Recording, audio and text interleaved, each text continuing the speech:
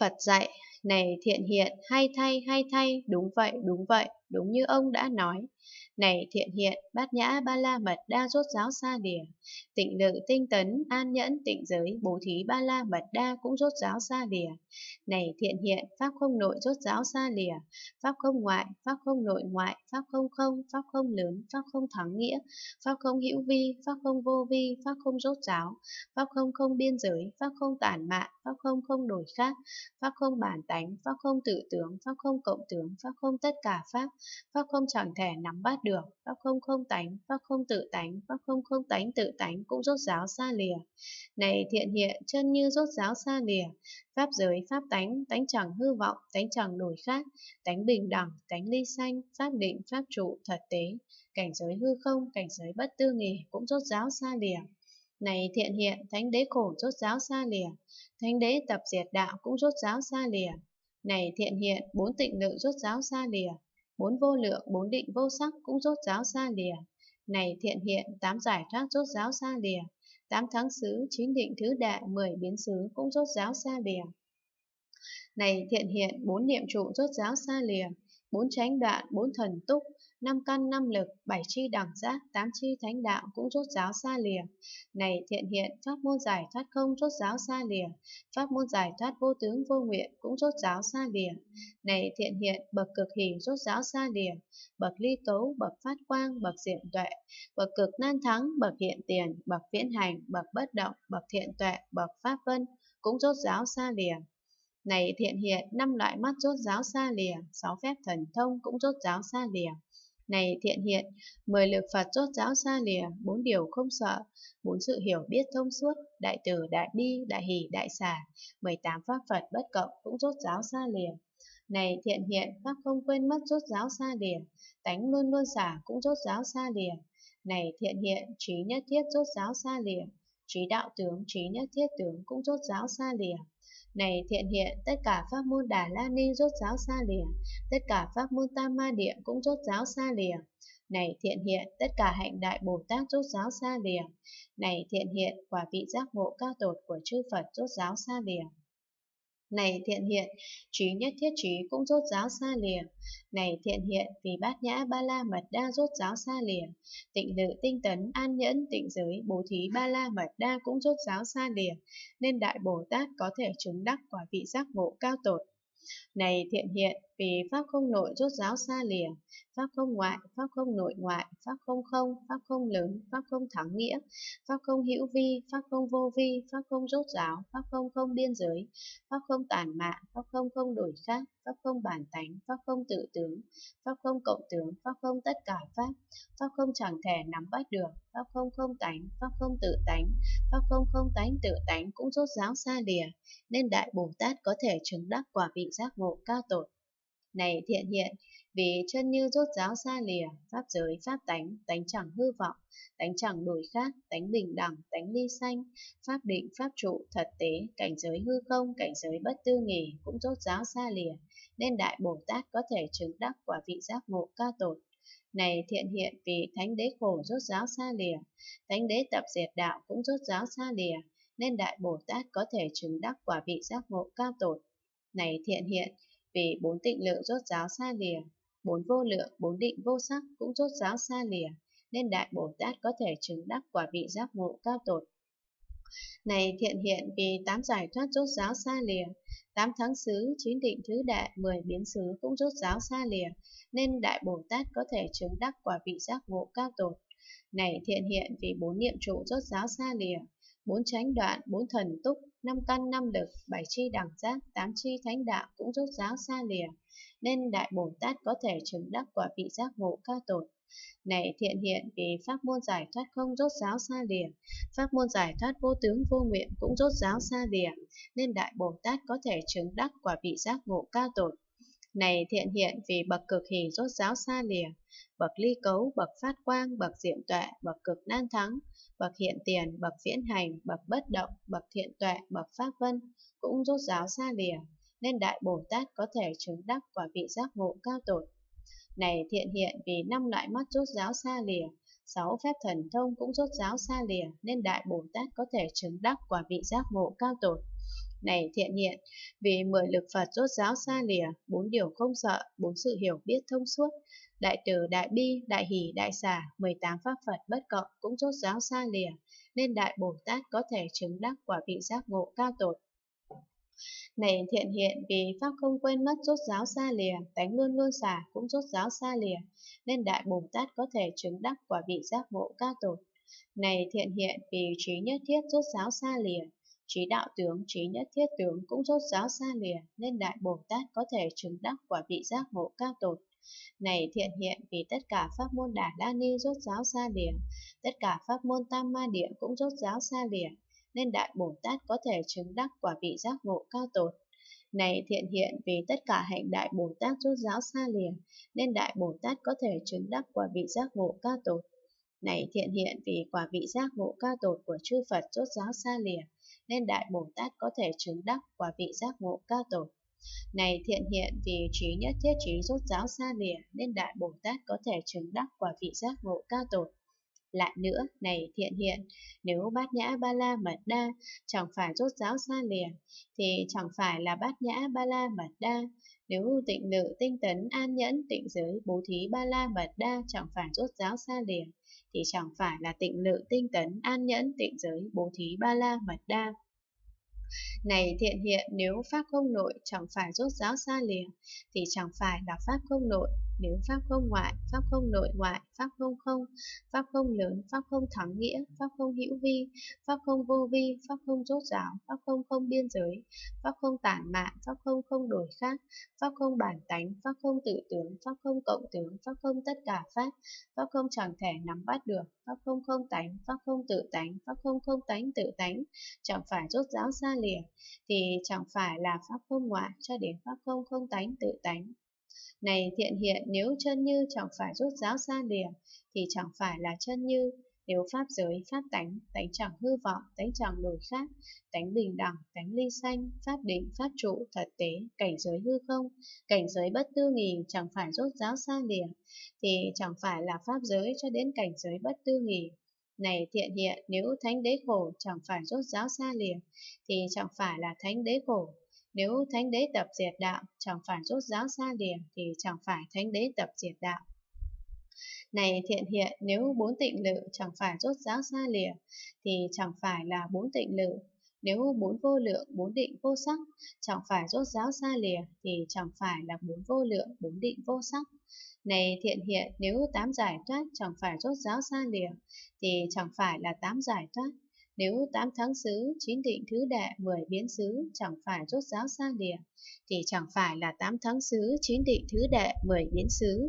Này thiện hiện, nếu bốn niệm trụ chẳng phải rốt giáo xa lìa, thì chẳng phải là bốn niệm trụ. Nếu bốn tránh đoạn, bốn thần túc, năm căn năm lực, bảy chi đẳng giác, tám chi thánh đạo, chẳng phải rốt giáo xa lìa, thì chẳng phải là bốn tránh đoạn cho đến tám chi thánh đạo.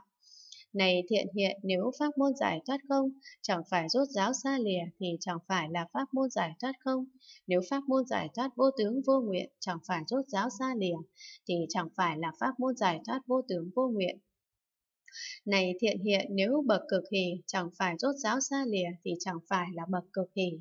Nếu bậc ly cấu, bậc phát quang, bậc diệm tuệ, bậc cực nan thắng, bậc hiện tiền, bậc viễn hành, bậc bất động, bậc thiện tuệ, bậc pháp vân, chẳng phải rốt giáo xa lìa thì chẳng phải là bậc ly cấu cho đến bậc pháp vân. Này thiện hiện nếu năm loại mắt chẳng phải rốt giáo xa lìa thì chẳng phải là năm loại mắt.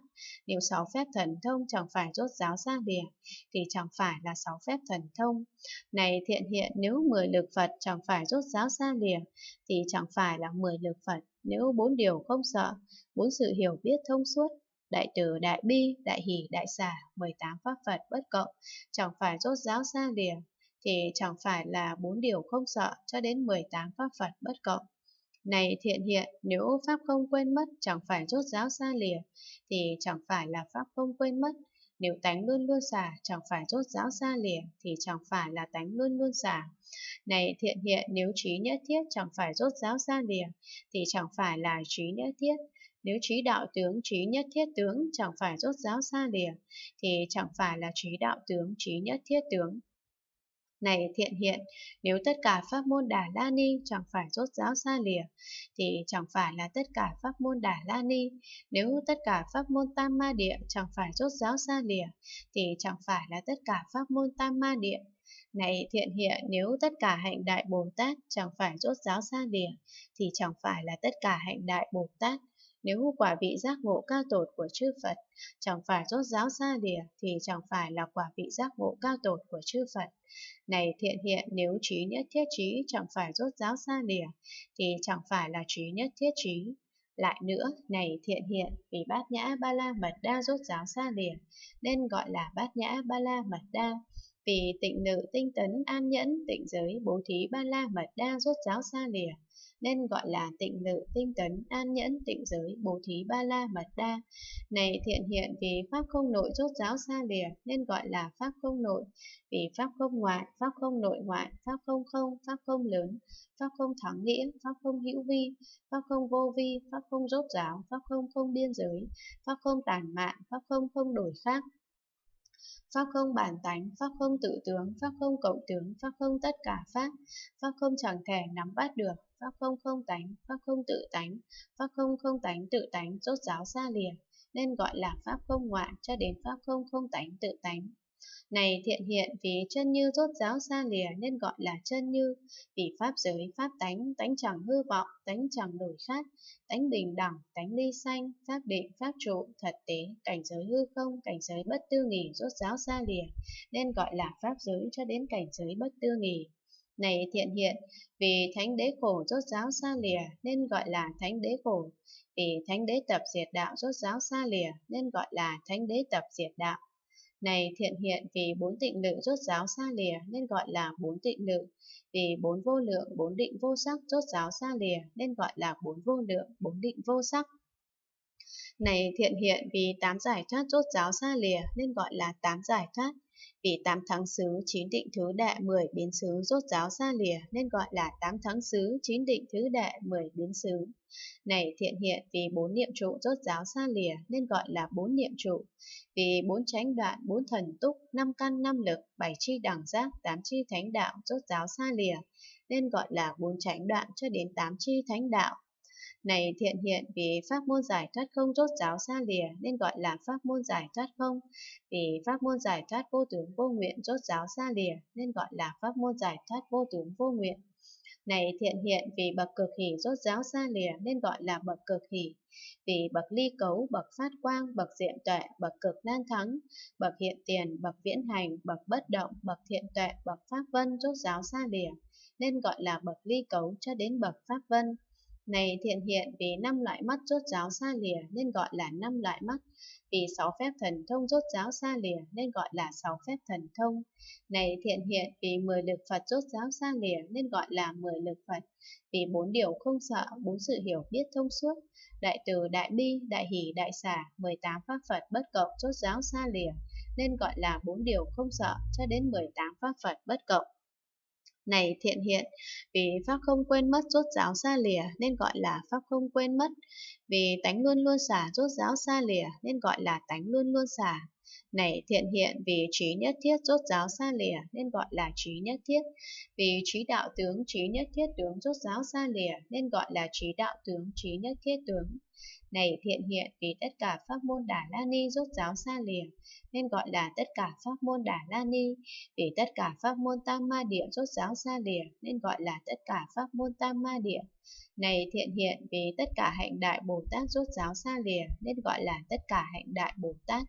Này thiện hiện, vì quả vị giác ngộ cao tột của chư Phật rốt giáo xa lìa, nên gọi là quả vị giác ngộ cao tột của chư Phật. Này thiện hiện vì trí nhất thiết trí rốt giáo xa lìa nên gọi là trí nhất thiết trí. Này thiện hiện vì vậy Đại Bồ Tát chẳng phải chẳng nương vào bát nhã ba la mật đa mà có thể chứng quả vị giác ngộ cao tột. Tuy chẳng lìa pháp mà có thể chứng pháp ly, nhưng chứng quả vị giác ngộ cao tột chẳng thể chẳng nương vào bát nhã ba la mật đa sâu xa, cho nên chúng đại Bồ Tát muốn chứng đắc quả vị giác ngộ cao tột, phải siêng năng tu học bát nhã ba la mật đa sâu xa. Khi ấy cụ thọ thiện hiện bạch Phật, bạch Thế Tôn pháp nghĩa tu hành của các đại Bồ Tát rất là sâu xa. Phật dạy, này thiện hiện, đúng vậy, đúng vậy, đúng như ông đã nói, pháp nghĩa tu hành của các đại Bồ Tát rất là sâu xa. Này thiện hiện nên biết các đại Bồ Tát có thể làm việc khó làm, tuy tu hành pháp nghĩa sâu xa như vậy, nhưng đối với pháp của bậc thanh văn độc giác chẳng tác chứng. Bấy giờ thiện hiện bạch Phật, bạch Thế Tôn như con hiểu ý nghĩa mà Phật đã dạy, thì việc làm của các đại Bồ Tát chẳng khó. Vì sao? Vì pháp nghĩa sở chứng của các đại Bồ Tát hoàn toàn chẳng thể nắm bắt được. Năng chứng bát nhã ba la mật đa cũng chẳng thể nắm bắt được. Pháp chứng, người chứng, nơi chứng, lúc chứng cũng chẳng thể nắm bắt được. Bạch Thế Tôn, các đại Bồ Tát quán tất cả Pháp đã chứng chẳng thể nắm bắt được, thì có Pháp nghĩa nào có thể làm sở chứng, có bát nhã ba la mật đa nào có thể làm năng chứng, lại có những Pháp nào để có thể thiết lập Pháp chứng, người chứng, nơi chứng, lúc chứng. Đã vậy thì tại sao có thể chấp do đây mà chứng đắc quả vị giác ngộ cao tột? Quả vị giác ngộ cao tột còn chẳng chứng, huống là chứng Pháp của bậc thanh văn độc giác Bạch Thế Tôn đó gọi là hạnh vô sở đắc của Bồ Tát.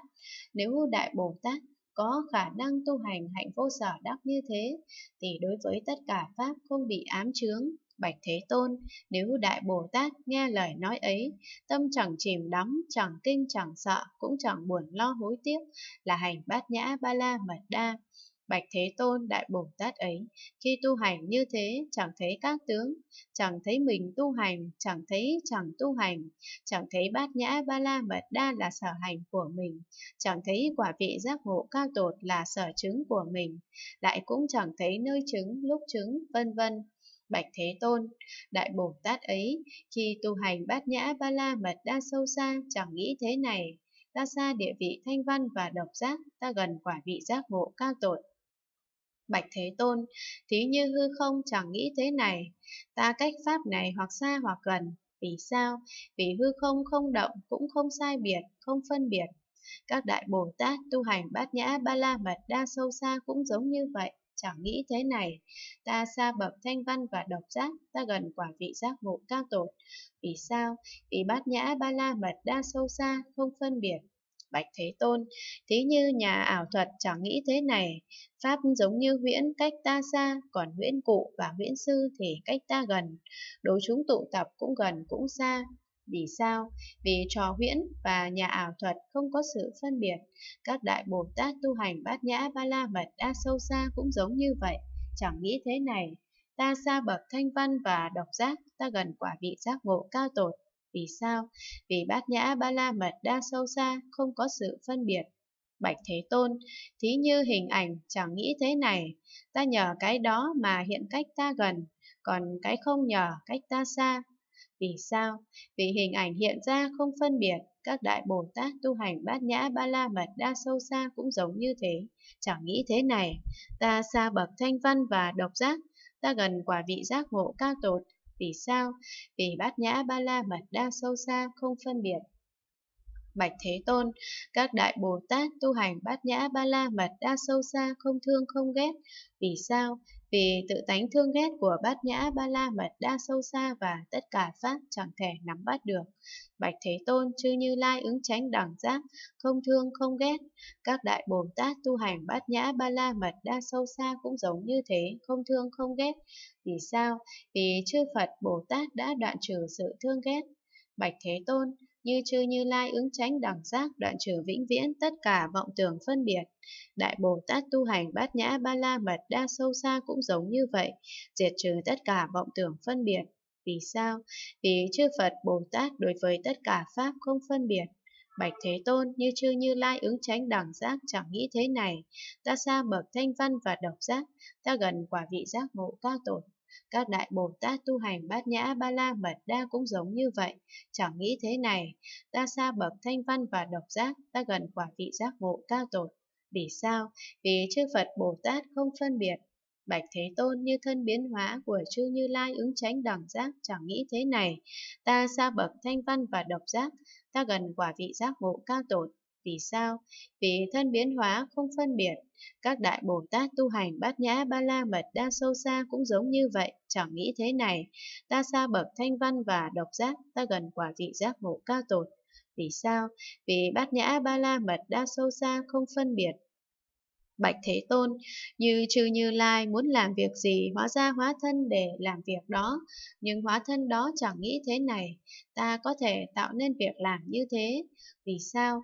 Vì các hóa thân ấy không phân biệt, bát nhã ba la mật đa sâu xa cũng như thế, vì có việc làm nên tinh cần tu tập, đã tu tập rồi, tuy có thể hoàn thành công việc nhưng đối với việc làm ấy hoàn toàn không phân biệt.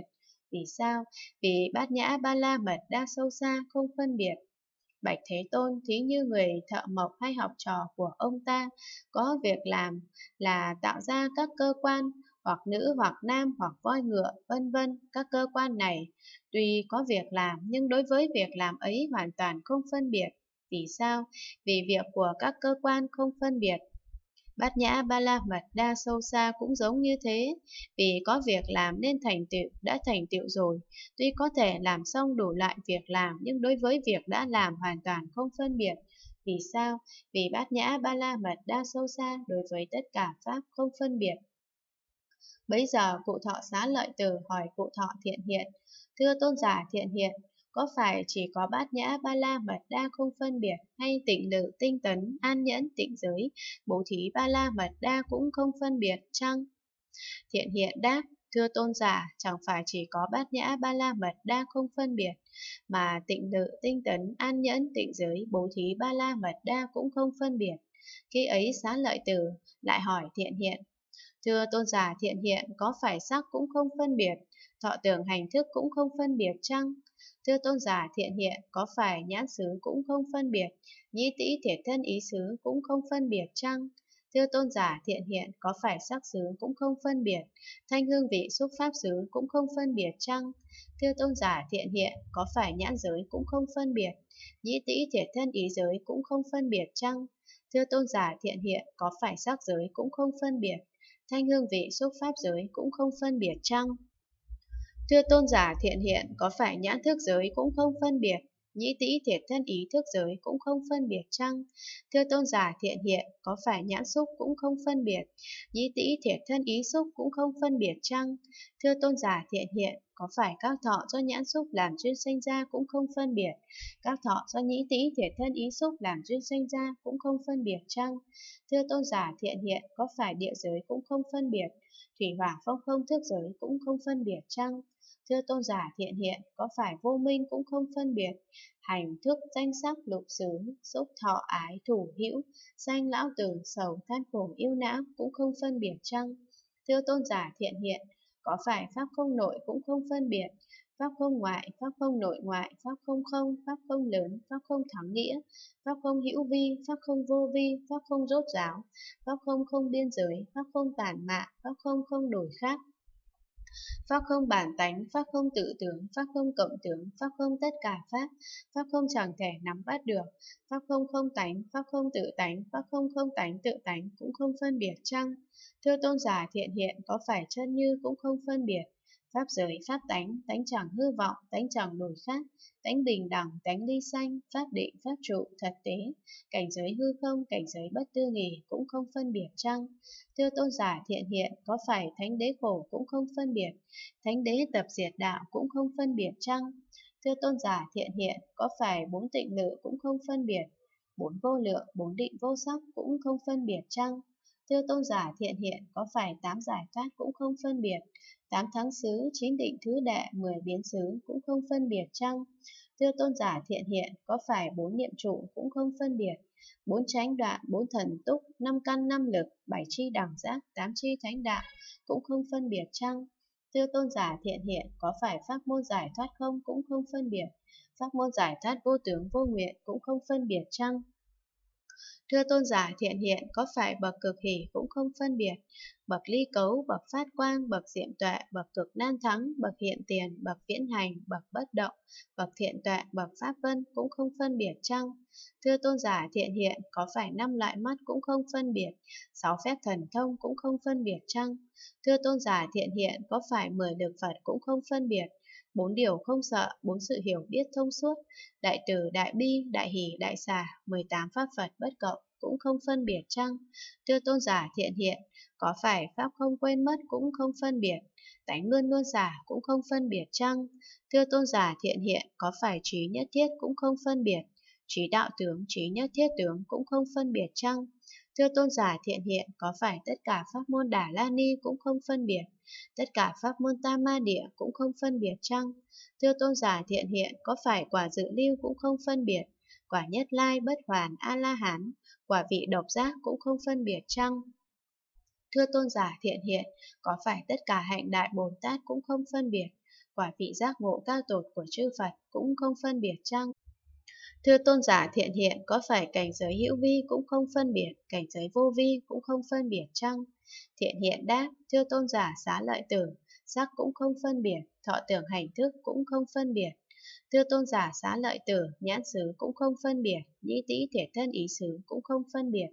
Thưa tôn giả xá lợi tử, sắc xứ cũng không phân biệt, thanh hương vị xúc pháp xứ cũng không phân biệt. Thưa tôn giả xá lợi tử, nhãn giới cũng không phân biệt, nhĩ tĩ thể thân ý giới cũng không phân biệt. Thưa tôn giả xá lợi tử, sắc giới cũng không phân biệt, thanh hương vị xúc pháp giới cũng không phân biệt. Thưa tôn giả xá lợi tử, nhãn thức giới cũng không phân biệt, nhĩ tĩ thể thân ý thức giới cũng không phân biệt. Thưa tôn giả xá lợi tử, nhãn xúc cũng không phân biệt, nhĩ tĩ thể thân ý xúc cũng không phân biệt. Thưa tôn giả xá lợi tử, các thọ do nhãn xúc làm duyên sanh ra cũng không phân biệt. Các thọ do nhĩ tĩ thể thân ý xúc làm duyên sanh ra cũng không phân biệt. Thưa tôn giả xá lợi tử, địa giới cũng không phân biệt. Thủy hỏa phong không thức giới cũng không phân biệt. Thưa tôn giả xá lợi tử, vô minh cũng không phân biệt. Hành thức danh sắc lục xứ, xúc thọ ái thủ hữu, sanh lão tử, sầu than khổ yêu não cũng không phân biệt. Thưa tôn giả xá lợi tử, pháp không nội cũng không phân biệt, pháp không ngoại, pháp không nội ngoại, pháp không không, pháp không lớn, pháp không thắng nghĩa, pháp không hữu vi, pháp không vô vi, pháp không rốt giáo, pháp không không biên giới, pháp không tàn mạn, pháp không không đổi khác, pháp không bản tánh, pháp không tự tướng, pháp không cộng tướng, pháp không tất cả pháp, pháp không chẳng thể nắm bắt được, pháp không không tánh, pháp không tự tánh, pháp không không tánh tự tánh cũng không phân biệt. Thưa tôn giả xá lợi tử, chân như cũng không phân biệt, pháp giới, pháp tánh, tánh chẳng hư vọng, tánh chẳng đổi khác, tánh bình đẳng, tánh ly sanh, pháp định, pháp trụ, thật tế, cảnh giới hư không, cảnh giới bất tư nghỉ cũng không phân biệt. Thưa tôn giả xá lợi tử, thánh đế khổ cũng không phân biệt, thánh đế tập diệt đạo cũng không phân biệt. Thưa tôn giả xá lợi tử, bốn tịnh lự cũng không phân biệt, bốn vô lượng, bốn vô xác định cũng không phân biệt. Thưa tôn giả xá lợi tử, tám giải thoát cũng không phân biệt, tám thắng xứ, chín định thứ đệ, mười biến xứ cũng không phân biệt. Thưa tôn giả xá lợi tử, bốn niệm trụ cũng không phân biệt, bốn tránh đoạn, bốn thần túc, năm căn năm lực, bảy chi đẳng giác, tám chi thánh đạo cũng không phân biệt. Thưa tôn giả xá lợi tử, pháp môn giải thoát không cũng không phân biệt, pháp môn giải thoát vô tướng vô nguyện cũng không phân biệt. Thưa tôn giả xá lợi tử, bậc cực hỷ cũng không phân biệt, bậc ly cấu, bậc phát quang, bậc diệm tuệ, bậc cực nan thắng, bậc hiện tiền, bậc viễn hành, bậc bất động, bậc thiện tuệ, bậc pháp vân cũng không phân biệt. Thưa tôn giả xá lợi tử, năm loại mắt cũng không phân biệt, sáu phép thần thông cũng không phân biệt. Thưa tôn giả xá lợi tử, mười lực Phật cũng không phân biệt, bốn điều không sợ, bốn sự hiểu biết thông suốt, đại từ, đại bi, đại hỷ, đại xả, 18 pháp Phật bất cộng cũng không phân biệt. Thưa tôn giả xá lợi tử, pháp không quên mất cũng không phân biệt, tánh luôn luôn xả cũng không phân biệt. Thưa tôn giả xá lợi tử, trí nhất thiết cũng không phân biệt, trí đạo tướng, trí nhất thiết tướng cũng không phân biệt. Thưa tôn giả xá lợi tử, tất cả pháp môn Đà La Ni cũng không phân biệt, tất cả pháp môn Tam Ma Địa cũng không phân biệt tư tôn giả xá lợi tử, quả dự lưu cũng không phân biệt, quả nhất lai bất hoàn, A-la-hán, quả vị độc giác cũng không phân biệt. Thưa tôn giả xá lợi tử, tất cả hành đại Bồ Tát cũng không phân biệt, quả vị giác ngộ ca tột của chư Phật cũng không phân biệt. Thưa tôn giả xá lợi tử, cảnh giới hữu vi cũng không phân biệt, cảnh giới vô vi cũng không phân biệt. Xá lợi tử nói, Thưa tôn giả thiện hiện nếu tất cả pháp đều không phân biệt thì tại sao có năm cõi? Sự sai biệt là địa ngục bằng xanh quỷ giới người trời. Tại sao lại có các bậc tu hành khác nhau như dự lưu, nhất lai, bất hoàn, A-la-hán, độc giác, Bồ Tát, chư Phật? Thiện hiện đáp, thưa tôn giả xá lợi tử, bởi vì do hữu tình điên đảo, phiền não, tạo tác đủ các loại nghiệp thân ngữ ý, do đó trêu cảm, nghiệp quả dị thục, do dục làm căn bản, nương vào đó mà tạo ra năm thứ sai khác, là địa ngục, bàng sanh, quỷ giới, người trời. Còn tại sao nói có các bậc tu hành sai khác, như dự lưu vân vân thì thưa tôn giả xá lợi tử, vì không phân biệt nên có tu dự lưu và quả dự lưu, vì không phân biệt nên có tu nhất lai và quả nhất lai, vì không phân biệt nên có tu bất hoàn và quả bất hoàn, vì không phân biệt nên có tu A-la-hán và quả A-la-hán, vì không phân biệt nên có tu độc giác và quả vị độc giác, vì không phân biệt nên có tu đại Bồ Tát và đạo đại Bồ Tát, vì không phân biệt nên có tu như lai ứng tránh đẳng giác và quả vị giác ngộ ca tột của chư Phật. Thưa tôn giả xá lợi từ như lai ứng tránh đẳng giác quá khứ, do vì không phân biệt, chấm dứt phân biệt nên có thể kiến lập có. Như lai ứng tránh đẳng giác vị lai cũng vì không phân biệt, chấm dứt phân biệt nên có thể kiến lập có. Tất cả Như Lai ứng tránh đẳng giác hiện tại ở thế giới chư Phật khắp mười phương hiện đang thuyết pháp cũng vì không phân biệt, chấm dứt phân biệt nên có thể kiến lập có. Thưa tôn giả xá lợi tử, do nhân duyên này nên biết tất cả Pháp đều không phân biệt, vì không phân biệt chân như Pháp giới, Pháp tánh, thật tế làm định lượng. Nên thưa tôn giả xá lợi tử, Đại Bồ Tát phải tu hành bát nhã ba la mật đa sâu xa, vô phân biệt tướng như thế, nếu tu hành bát nhã ba la mật đa vô phân biệt tướng như vậy, thì có khả năng chứng đắc sở cầu là quả vị giác ngộ cao tột vô phân biệt tướng.